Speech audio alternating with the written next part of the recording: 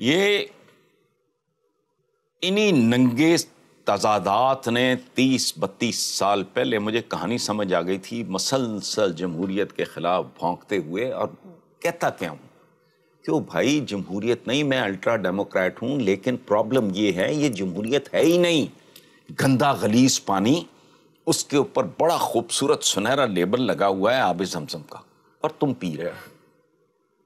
तो देख तो लो, ये हो रहा नहीं हो रहा।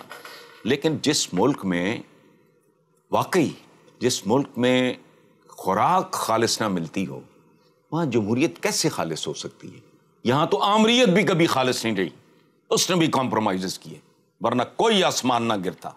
ये मुल्क सीधा किया जा सकता बारह, आगे। हसन साहब कुछ मुबसरीन और तजिया निगारों का कहना है कि ऑडियो लीक संगीन मामला है, इसकी तहकीकात होनी चाहिए।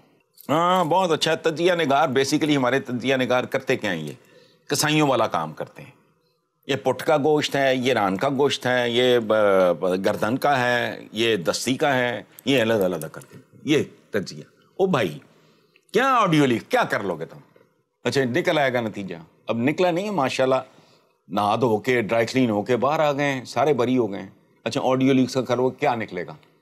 अच्छा और इससे पहले बाबाए कौम की एंबुलेंस ख़राब हुई, शदीद मौसम। मक्खियाँ भिन बना रही और मादर मिलत मक्खियाँ उड़ा रही। इस पे करो कुछ। लियाकत अली खान की शहादत। सकूत डाका आधा मुल्क ही गया।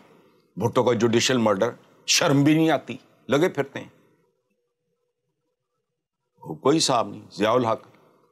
मुझे पसंद हो ना हो, उसका त्यारा पट गया। वो पट गया। किसने कहा था? गुलाम इसाक खान है। उनको उर्दू इतनी आती थी? अच्छा।